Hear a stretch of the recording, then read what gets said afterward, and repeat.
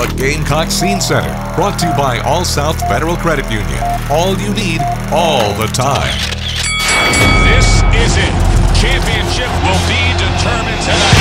And in this corner. All the ingredients are, are in place for them to be a number one team. Deep to right, deep trouble. And it's three to one, Van. 1-0 Florida here in the You second. know what's at stake. One more time, here we go. This conference is just grueling. You punch each other.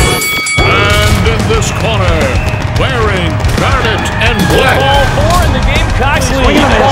just made that ball go boom. Forget about it. Turn Number one, meet the national champions. This bout is scheduled for three games to decide the SEC Eastern Division He's champion. gonna look up and it's in the ball. Oh, strike three. From Tuscaloosa, Alabama, Swing and a blast. the number three South Carolina Gamecocks against the Alabama Crimson Tide. Only on the Gamecock IMG Sports Network.